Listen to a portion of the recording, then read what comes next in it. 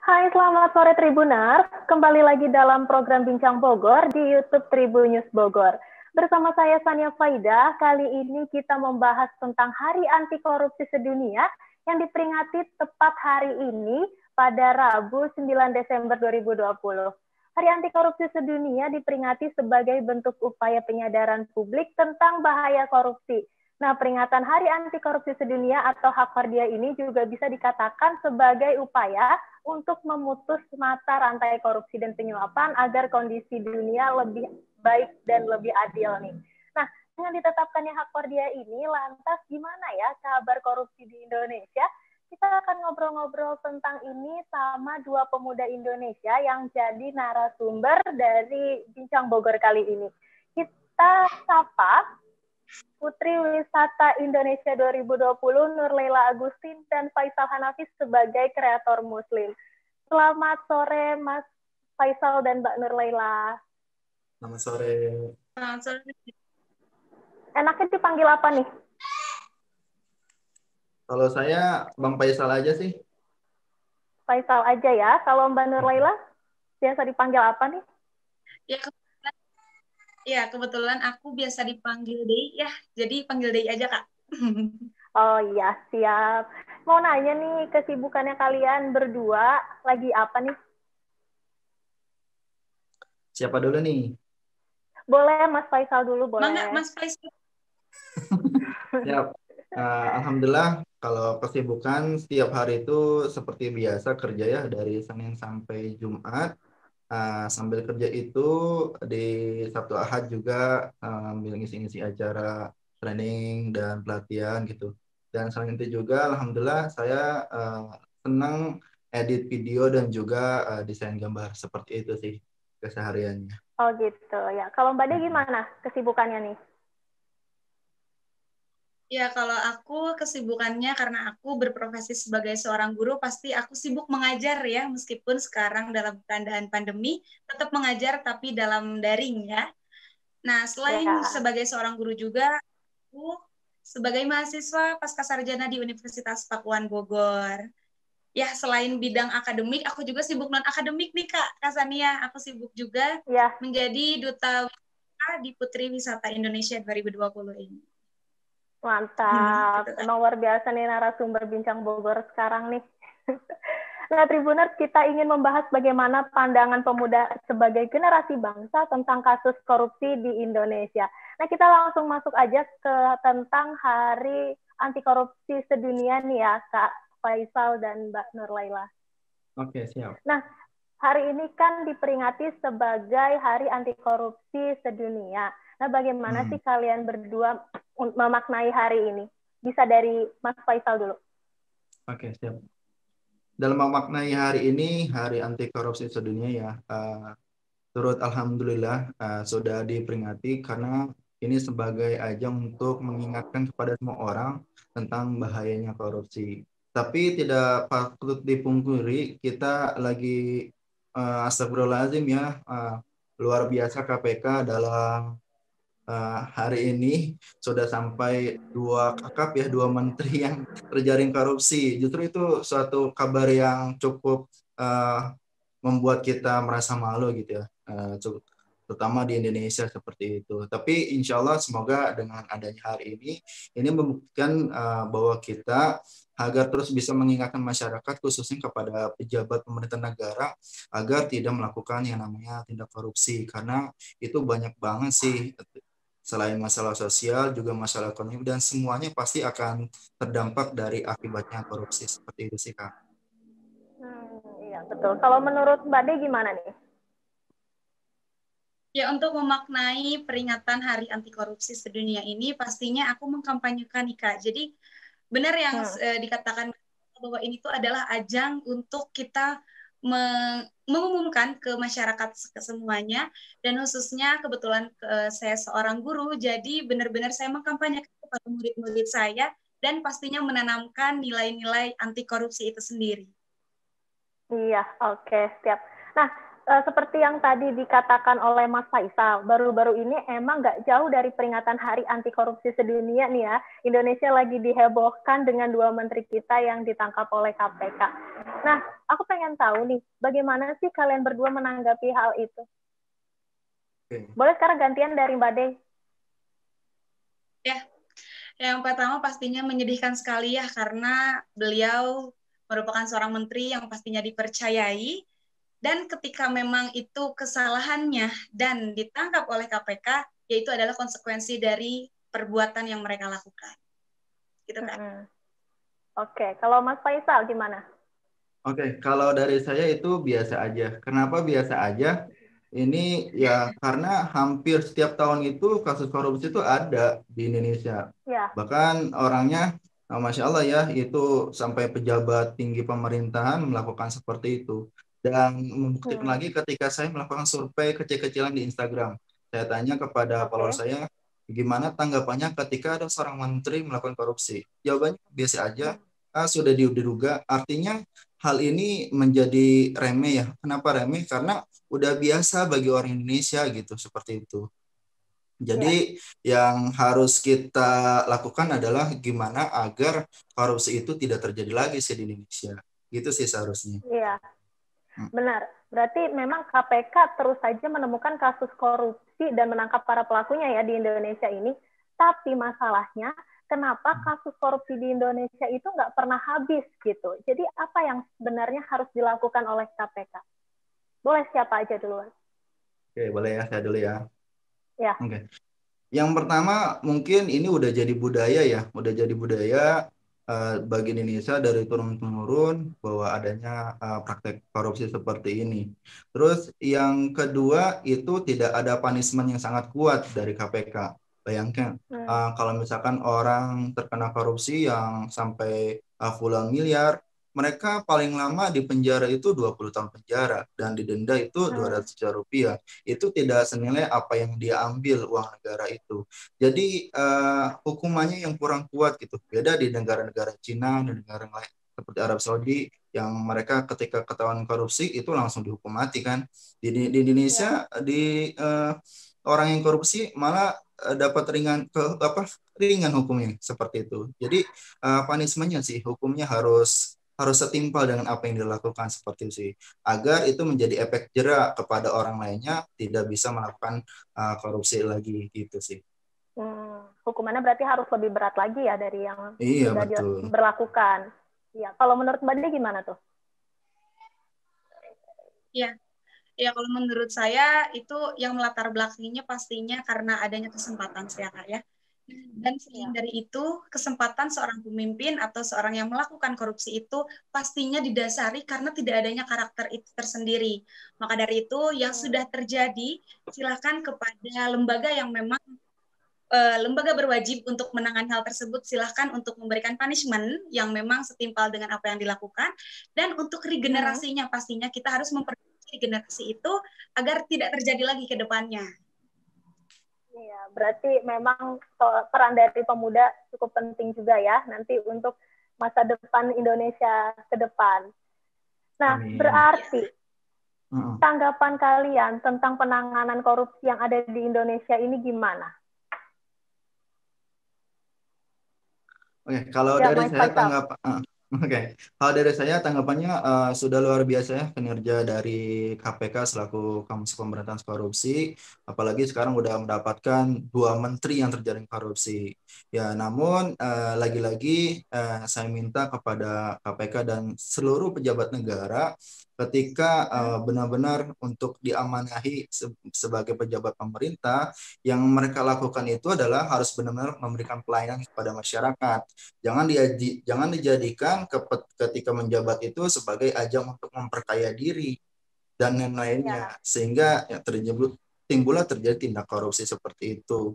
Jadi baiknya uh, kinerja KPK terus ditingkatkan dan yang terpenting adalah setelah ketika seorang menjabat pemerintah diutamakan ketika menjabat itu adalah berkhidmat untuk rakyat atau melayani untuk rakyat sehingga tidak akan terjadi yang namanya uh, kasus korupsi seperti ini. Oke, ya terus Mbak De? Ya kalau untuk aku yang harus di, uh, dilaksanakan adalah kita harus bersinergi bersama-sama karena hmm. setiap uh, lembaga setiap instansinya memiliki peranan masing-masing. Dari itu segi KPK, dari itu kita sebagai masyarakat dan sebagai pemuda yang harus mengkampanyekan dan dari segi anaknya juga gitu. Jadi kita harus benar-benar bersinergi bersama gitu untuk sadar akan anti korupsi. Ya, betul. Berarti kita harus bekerja bersama-sama ya.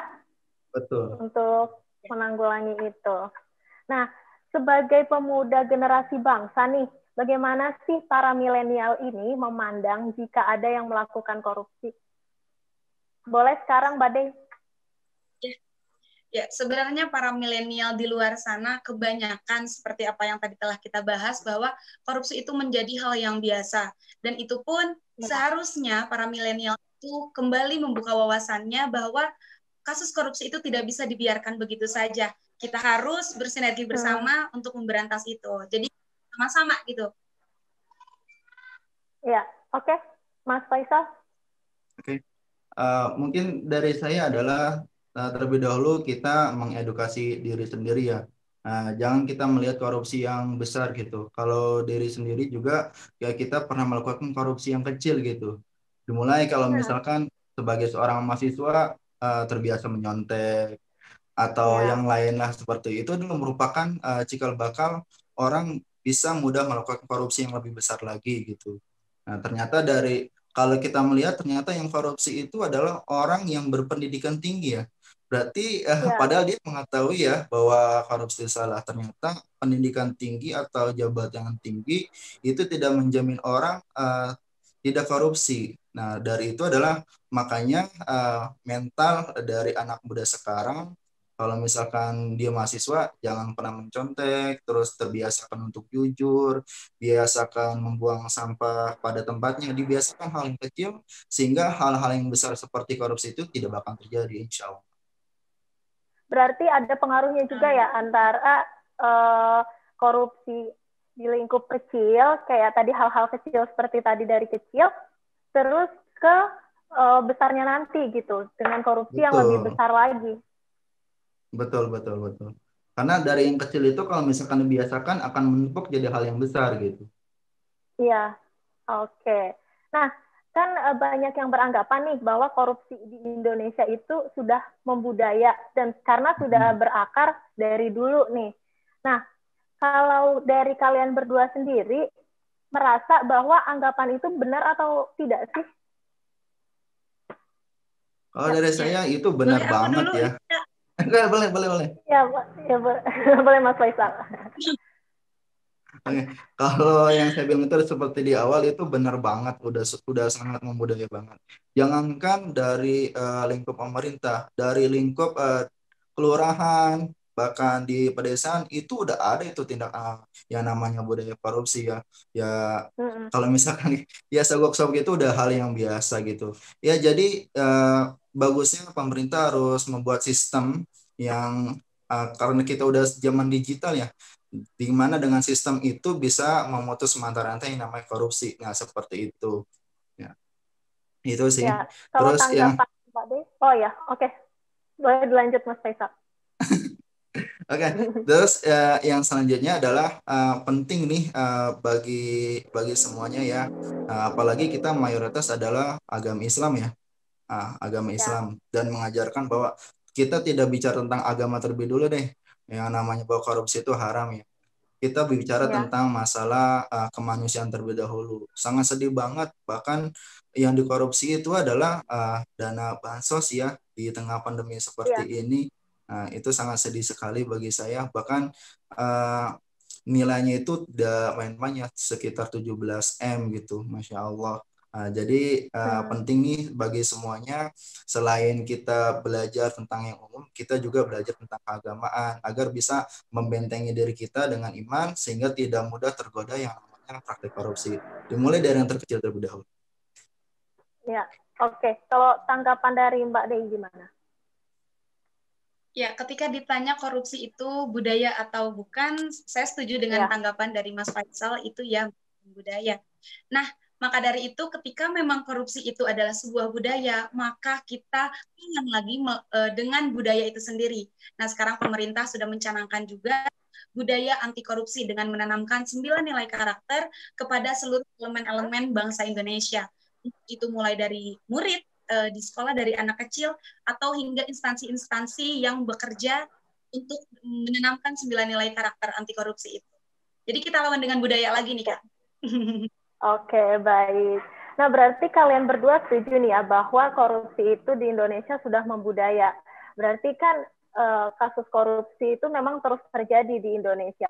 Nah jika kita melihat kasus korupsi yang terus terjadi ini, ada nggak sih kemungkinan Indonesia itu bisa bebas dari korupsi? Boleh Mbak De.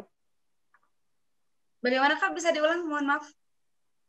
Ya, kita kan kalau kita jika melihat kasus korupsi yang ada di Indonesia ini yang terus terjadi, uh, sesuai juga dengan uh, kalian tadi yang setuju dengan pernyataan bahwa korupsi itu sudah membudaya di Indonesia. Gitu. Ada nggak sih ya kemungkinan Indonesia itu bisa bebas dari korupsi? Ya, kemungkinan itu pasti ada. Bisa kok Indonesia bebas dari korupsi asal kita membenahi dari hal yang terkecil. Betul kata Mas Faisal. Ya kita benahi hmm. dari hal yang terkecil. Kita ubah paradigma kita bahwa kita bekerja untuk sesama bukan untuk diri sendiri. Karena tujuan dari bangsa tujuan dari negara itu pastinya ada ke bang, eh, tersimpan di bangsa Indonesia itu sendiri. Jadi kita harus yakin sama-sama bahwa korupsi itu akan hilang. Ya, jadi meskipun uh, ada anggapan bahwa korupsi itu sudah mengakar, tapi tetap bisa dirubah ya, diputus uh, akar bisa. itu. Ya, kalau menurut Mas ya, Faisal gimana? Oke, okay. kalau dari Tesani bilang korupsi itu sudah mengakar dan membudaya dan ada kemungkinan enggak? Pasti ada kemungkinan. Dan kalau misalnya sudah mengakar, tinggal cabut aja akarnya gitu. Nah, akarnya itulah apa permasalahannya? Ya dimulai dari dari dari pendidikan dini ya dari tadi uh, Malela juga kan seorang guru ya. Jadi harus bisa mengajarkan bahwa anak-anak bahwa yang namanya budaya korupsi itu enggak baik dan lain-lainnya. Dan juga pemerintah harus merupakan, eh, membuat sistem yang bagus agar tidak ada praktek korupsi lagi. Terus yang kedua kinerja KPK eh, harus ditingkatkan terlebih lagi. Dan yang terakhir adalah harus ada hukuman yang kuat agar membuahkan efek jerah dan yang kelima harus ada uh, bersama-sama mewujudkan kita bersinergi agar uh, budaya korupsi ini uh, hilang di Indonesia. Oke, berarti masih ada kemungkinannya ya. Ya, kita sebagai bangsa Indonesia tentunya berharap semoga nanti ke depan Indonesia bebas dari korupsi. Nah, Amin. Nah, itu tadi kan korupsi seputar negara ya, seputar uang negara. Nah, bagi hmm. kalian, korupsi itu bisa nggak sih ditemukan di lingkup kecil? Misal ya, soal disiplin waktu, atau uh, pakai uang jajan sekolah nih, uang bayaran sekolah tapi untuk jajan gitu. Bagaimana pandangan kalian? Mbak De, sebagai guru?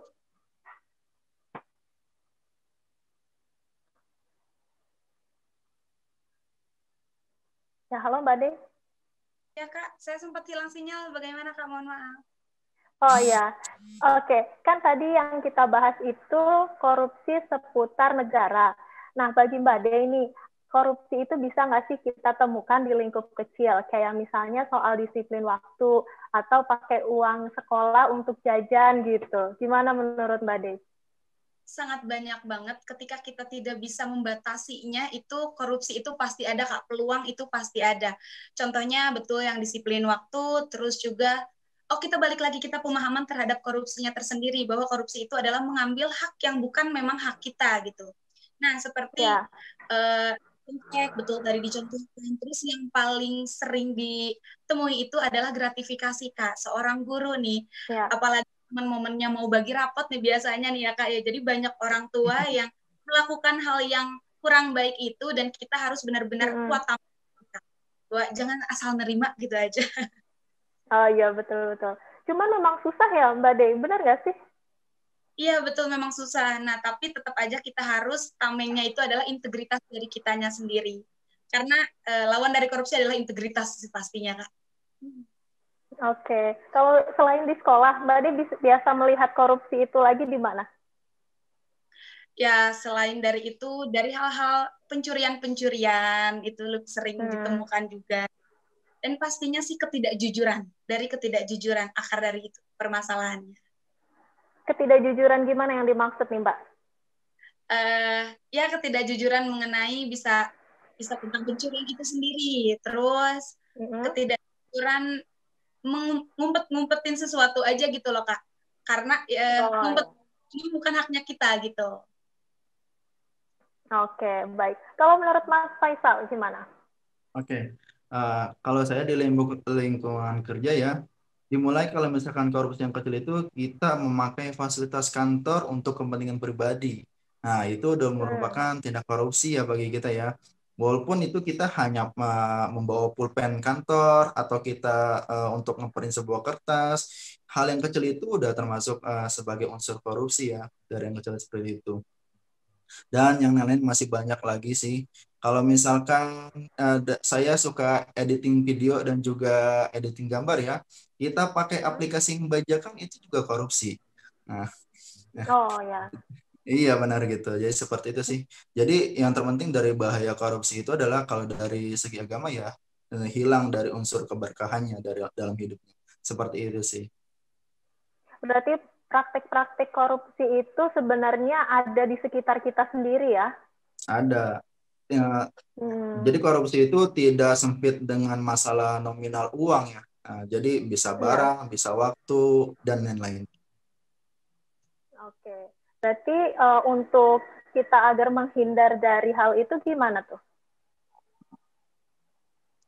Yaitu ada yang yang pertama itu ada kesadaran diri, yang kedua itu harus dibentengi dengan nilai keagamaan. Otomatis kalau orang sudah uh, ada rasa iman nih di dalam hatinya, kita keluar dari masjid pakai sendal yang bukan milik kita, otomatis kita merasa ah, gimana gitu ya. Nah, otomatis yeah. kalau orang udah ada rasa imannya, otomatis akan terjaga dari tindakan korupsi. Yang selanjutnya adalah lingkungan kerja. Itu lingkungan kerja sangat berpengaruh sekali. Karena uh, lingkungan yeah. kerja, teman itu sangat bisa memengaruhi uh, kepribadian kita. Kalau kita berteman dengan teman yang baik, insya Allah kita akan kebawa baik. Begitu juga dengan sebaliknya. Seperti itu sih. Iya, betul. Kalau menurut Mbak Deh, ya pastinya kita kembali lagi ke diri kita sendiri, betul, kesadaran mm -hmm. diri sendiri dan karakter kita. Nah, setelah kita berhasil menguatkan, kita harus memberikannya kepada orang lain, kita harus mengkampanyekannya agar orang lain pun memiliki karakter yang sama hingga korupsi itu hilang. Gitu. Oke, siap. Nah, sepanjang hidup kalian nih, tadi kan kita udah ngobrolin tentang orang-orang yang melakukan korupsi. Nah, bagaimana dengan kalian sendiri gitu? Pernah nggak sih melakukan korupsi dari hal-hal terkecil aja yang tanpa kita sadari atau sekarang oh iya ternyata itu korupsi gitu? Iya. Boleh, Mbak De? Ya, pastinya ketika kita menyadari bahwa itu korupsi sekarang-sekarang pastinya aku sudah uh, aku pernah mengalami itu. Tapi iya. pastinya ya. ketika kesempatan itu ada dan kita kolaps tidak sadar, itu uh, apa pasti uh, terlaksana gitu. Tapi setelah sekarang mengetahui itu tidak boleh dilaksanakan lagi gitu kak. Hmm, coba contoh-contohnya ada nggak tuh yang bisa dikasih tahu yang bisa di share ya contohnya pastinya uh, korupsi waktu ya kak ya. Jadi belum uh, jamnya pulang sekolah anak sudah dibubarkan seperti itu. Salah satu contohnya kak. Korupsi waktu dari okay. waktu. Dari waktu ya kalau Mas Faisal gimana? Yang pertama mungkin kalau di dunia kerja uh, masalah disiplin kerja ya tidak sesuai dengan SOP kita, tidak sesuai dengan KPI kita, itu juga udah termasuk uh, korupsi bagi kita ya. Nah itu sih dari lingkupan terkecilnya. Oke, itu yang uh, tanpa disadari sudah dilakukan gitu ya? Iya betul. Ya, Oke, masuk ke pertanyaan terakhir nih, Mas Faisal dan Mbak De. Sebagai generasi bangsa, apa sih yang ingin kalian lakukan untuk negara terkait korupsi? Dan apa yang ingin kalian inginkan dari KPK untuk menangani korupsi? Gitu. Bisa dari Mas Faisal.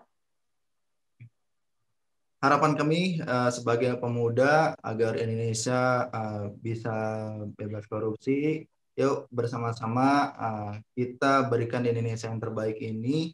Uh, jangan sampai Indonesia hanya sebatas di sini-sini aja dan jangan sampai Indonesia terkenal di dunia internasional hanya kasus korupsinya. Itu sangat memalukan sekali ya. bagi saya. Jadi uh, kita sebagai generasi muda harus bisa uh, membentuk Indonesia ini agar bisa lebih baik lagi. Dan untuk KPK sebagai institusi yang dipercaya pemerintah untuk menangankan kasus korupsi, uh, saya harap uh, uh, punishment-nya itu harus lebih berat lagi kepada yang korupsi. Uh, mungkin kepikiran saya seperti ini ya, uh, Teh, uh, maaf. Ya. Kepikiran saya ini, jadi kalau misalkan uh, pejabat daerah atau pejabat pemerintah diamanahkan untuk menjadi uh, suatu pemimpin uh, hmm. mungkin tidak usah ada uh, gaji ya atau minimal gajinya di bawah UMR gitu ya terus tidak ada yang ya. namanya tunjangan inilah tunjangan itulah fasilitas negara fasilitas daerah atau fasilitas apa pun jadi ketika mereka hmm. menjabat mereka benar-benar uh, murni ingin berkhidmat atau melayani rakyat gitu.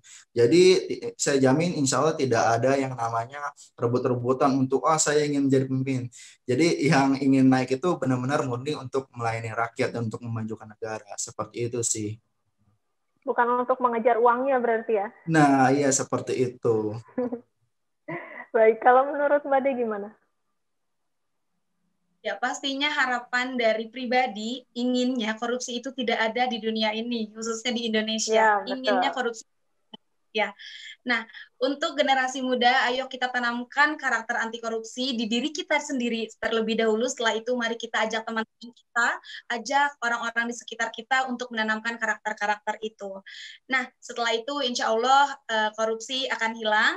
Dan untuk KPK, semangat terus untuk menjalankan tugasnya dan itu sudah porsinya uh, tingkatkan lagi kinerjanya ya. dan kita bersinergi tugas uh, dari setiap masing-masing tugasnya. Oke, siap. Terima kasih banyak Mas Faisal sama Mbak Dey sudah mau meluangkan waktunya untuk share ke kita tentang Hari Anti Korupsi ini. Selamat melakukan aktivitasnya kembali ya. Siap, terima kasih. Baik, Begitu tadi Tribuners bincang-bincang kita sama Mas Faisal dan Bade terkait dengan Hari Anti Korupsi sedunia ini. Tentunya kita semua berharap semoga Indonesia bisa bebas dari korupsi yang dianggap orang sudah membudaya. Terus saksikan Bincang Bogor di tribunusbogor.com. Saya Sania Faida pamit undur diri. Sampai jumpa.